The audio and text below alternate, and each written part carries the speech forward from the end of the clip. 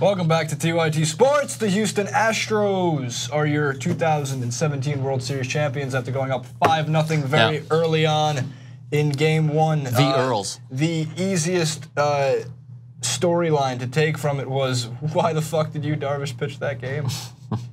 and then after about 15 pitches, meatball after meatball, zero movement, less velocity. Why did you allow after the first inning when he gave up two to not start Kershaw? In the second inning, would it have mattered? Who knows? Obviously, it's a lot easier to climb out of a 2 0 hole than it would be to climb out of a 5 0 hole. But the Astros didn't have to do much. No. Because Charlie Morton, of all people, Yeah, seriously. in these very strange moments in, in, the, in clutch baseball history, you sometimes get the absolute best. And when you want to talk about a tail end fastball that was pinpoint for most of that game, one mistake throughout his five, four or five innings pitched, but brilliant. And credit to AJ Hinch who trusted him. And at no point did he say I should bring in Keuchel or should I bring in Verlander, or definitely not Ken Giles, who would have undoubtedly blown the lead. Yeah. Uh, the Astros win. It was not an exciting game seven. It was actually one Not of the very boring game sevens, but it did cap off. There uh, were exciting moments. There were potentially. There was uh, tension. Right, there was tension and there was this potential when the Dodgers had some guys left on base.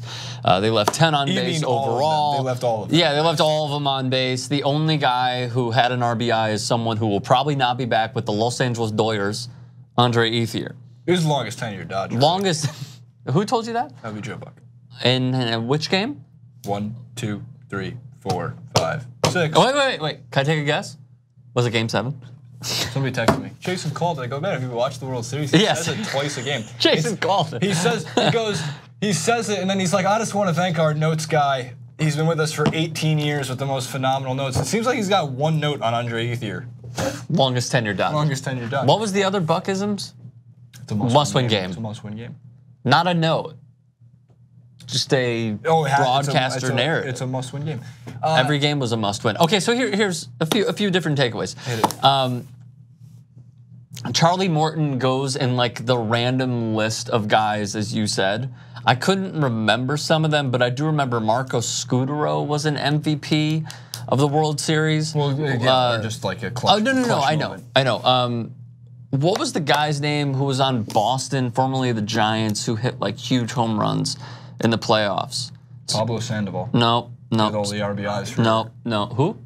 No no. The guy that came over the Giants was Sandoval, who used to No no no not RBIs, Sandoval. He was an outfielder, played for Boston and San. Reno. No, that was Hunter another. Pence? No, I'm sorry.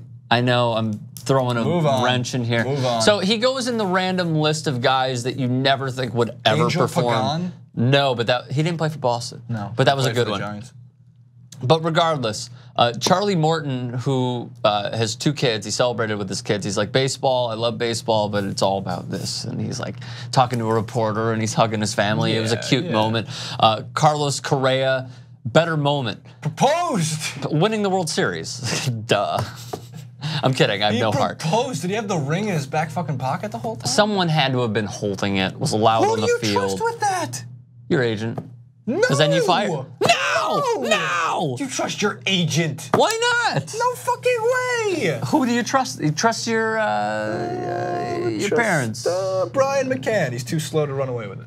Couldn't get couldn't get out of the stadium. Uh, trust Evan Gattis, who like was a Correa- janitor I like 10 years Correa ago. Doing the uh, joking with Brian McCann after he got the sac fly. Just, oh yeah, made it, Brian. Running next to this is a cool team. Like the Astros are a cool, hip, young Cool team. team. Look, uh, They're Correa- ladies' men. Correa, Springer, Bregman, drafted, Beltran. make Oh, moves, make moves to get guys like Jose Altuve, adding in pieces like Justin Verlander and Dallas Keuchel and Charlie Morton, finding these guys and Lance McCullers. million dollar contract. And they had specific uh, things. Look, Altuve, Correa, and Springer combined this year made a roughly 8.7 million dollars Gosh. combined. And look, here's what I'm going to tell you: Springer and Altuve, Uh-huh. when they're up for uh, arbitration, they will be the two highest paid players at their position. Yes, rightfully so. Springer just had the greatest World Series I've ever seen a hitter have.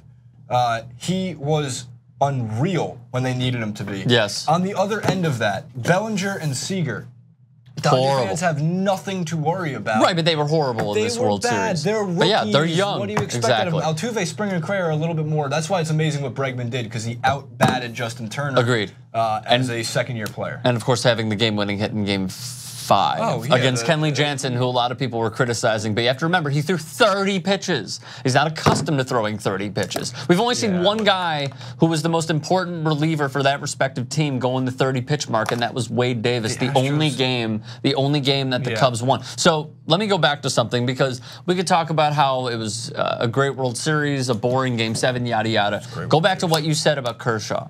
Do you think? And it's easy to say now, dope, but you, yeah. you thought from the get-go that he should have started over you, I thought the second that Yu Darvish gave up one run. I'm glad you clarified because that's exactly how I thought. The One Yuli- run, I think the best. one run, and then you watch. Look, anybody can sit on the Look at couch the and watch. Gurriel at bat. You have to It look was at devastating. he was throwing absolute jack shit garbage pitches. He Mm-hmm. was throwing batting practice. and we talked about his he slider just staying over the middle the He entire wasn't game. prepared. I mean, John Smoltz said it best. He threw a pitch and he's like, "You see that those seams making a fat circle on your changeup? You're gonna get clobbered." And Springer hit one 110 miles an hour off the bat. Absolutely took advantage of. him. And the facts of the matter are this: that that Springer home run, not uh, trusting Yu, Darvish. After giving up two runs in the first inning, it's a nine-inning baseball game. Yes, man. There's yes, time to make up for that, and the Dodgers had their chances. And then giving up another run. Sure, the Springer at bat will stand as the single worst managerial decision of Dave Roberts' career. He'll never, it will never get that bad again because you learn from these mistakes. Mm-hmm. But he, how do you not? For the guy who all series was pulling pitchers left and right and trusting his process, Yes. and that won him. What cost him in game two won him game six. So it went back and forth. But the facts of the matter is that Dave Roberts will never make a decision that bad again in his career. And the Dodgers will learn from it. Roberts will learn from it. Seager and Bellinger won't be that bad again. Young Joc Pederson has a lot to still prove as an all around player, but you should pay him. He's about to go into arbitration. Um, God, what a postseason he had. he had a good postseason. I mean, his Uh, rookie year. they have a the complete team. They're going to be back in it next year. They're They won already the favorites to win next year, according to, Right. I believe, Bovada. They're So, right, a few yes. points. Just a devil's advocate point. What Dave Roberts wanted, and I agree with you, you got to be consistent. And he pulled starters very early throughout the entire postseason and in the World Series, and it helped him. So, consistency is key. What he wanted to do to play devil's advocate was have Yu, Darvish, get one more out because the pitcher spot was due up third the very next inning. Now, leaving him in late, leaving him in longer than we expected, obviously it didn't play out in his favor. Clayton Kershaw goes out and pitches really, really well on two days rest. But regardless of if you if you are one of those people who's thinking right now, Clayton Kershaw should have started. I still don't agree. Because no matter what, it seems like Yu, Darvish, probably would have been used at some point in time in this game. Whether it was for an inning, whether it was for two innings. If Kershaw were to start on two days rest, they would have used Darvish, they then would have used Morrow, and then so on and so forth, depending on the matchups that they had. So I still think that he would have been in this game. So what Dave Roberts wanted, getting back to it, is one more out. Because then he could have pinch hit for Darvish and gone know, with somebody else. out- but that out it's a devil's advocate out- point of I looking at it and how he looked at it, most know. likely. The thing that's unfortunately wrong with it is that out had to come against the hottest hitter Yeah, in the entire fucking series. I know. So How many- how many straight games hitting a home run? Four straight home Four runs straight. in four straight games. He was absolutely on fire. He was hitting it into every part of the ballpark. And Springer Mm-hmm. is a good player. The thing I wanted to give the most credit to, um, the Astros infield defense. Uh, the reason they left so many people on base is because Bregman made three remarkably difficult plays.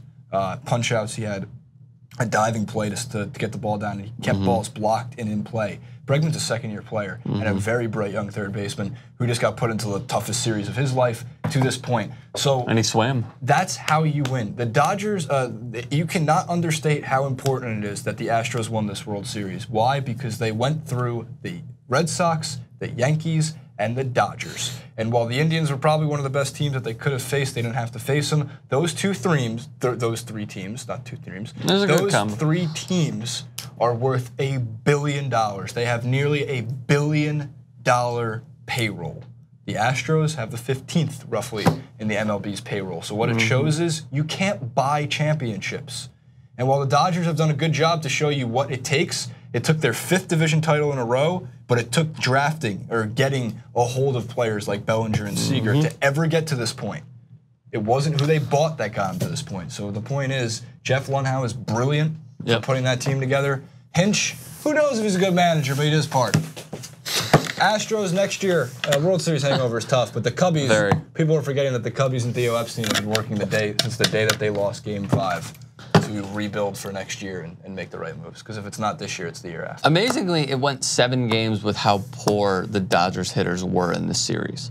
Like Cody Bellinger struck out position. They were like they were like uh, the- the 100. I think I have that number. Really bad. They were 0 for 9 in the game. One of point. 13 yesterday, One of 13. with Andre Ethier obviously being the one RBI. Uh, a The few, longest. A few, a few numbers. Uh, Cody Bellinger struck out nearly 20 times in this series. rookie. I a know, rookie. I know. Corey Seager struck out nine times. That's not bad. At all. Justin Turner, That's bad. By the way, batting uh, like he was batting like 500 up until that point. Oh, what's up, Britton? Um, we continue, but the uh, I, I know. I got. I got to let this go because I wanted to read how bad Justin Turner were. I think it was like four of twenty-five, is what he was in the World Series. Considering how dominant he has been in the postseason, he didn't have a good World Series said that the. Dodgers would win the World Series based on Justin Turner's at bats, and I think he was right. Remarkably right.